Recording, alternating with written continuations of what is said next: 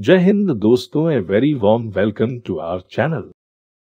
Welcome to the international news segment of Indian Fun Traveler.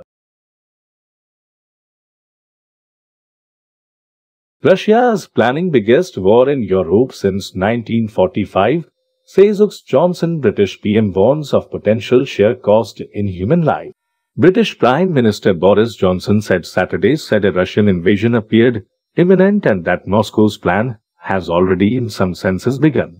I am afraid to say that the plan we are seeing is for something that could be really the biggest war in Europe since 1945 just in terms of sheer scale, Johnson told the BBC, people need to understand the sheer cost in human life that could entail, he said.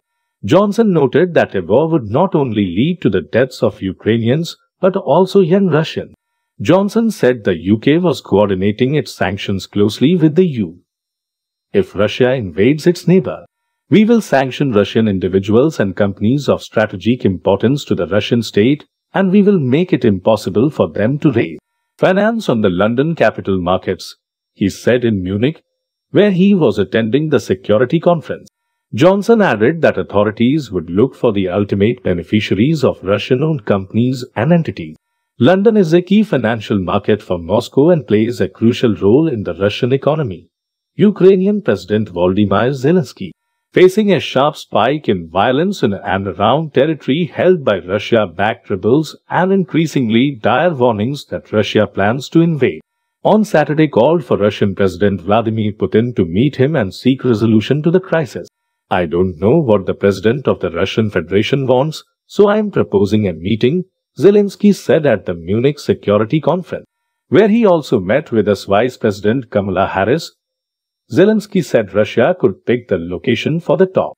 Ukraine will continue to follow only the diplomatic path for the sake of a peaceful settlement. There was no immediate response from the Kremlin.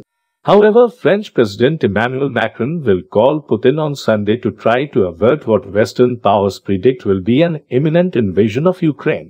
Zelensky spoke hours after separatist leaders in eastern Ukraine ordered a full military mobilization on Saturday while Western leaders made increasingly dire warnings that a Russian invasion of its neighbor appeared imminent.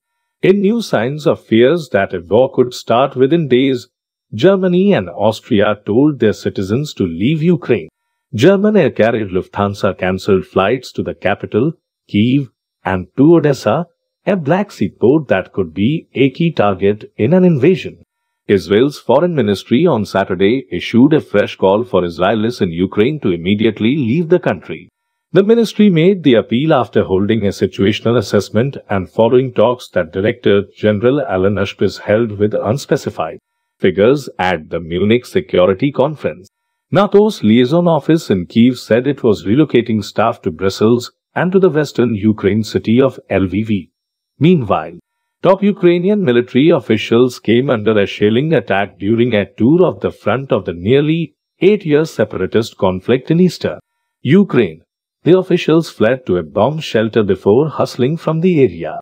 Violence in eastern Ukraine has spiked in recent days as Ukraine and the two regions held by the rebels each accused the other of escalation. Russia on Saturday said at least two shells fired from a government-held part of eastern Ukraine landed across the border.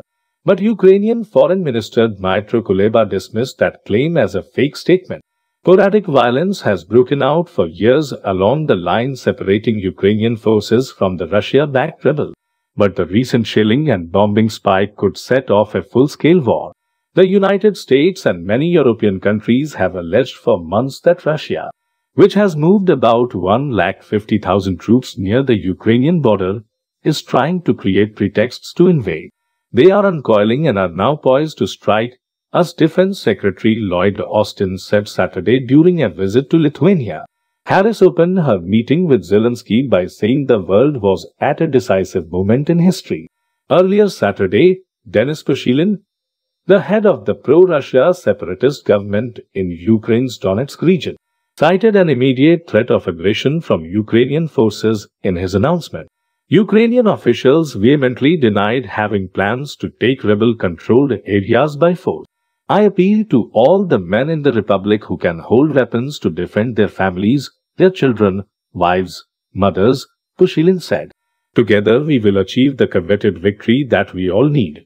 A similar statement followed from his counterpart in the Luhansk region.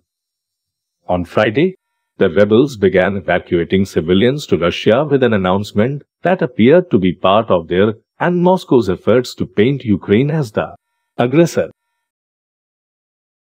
Like us, subscribe us, and support us by sharing the video.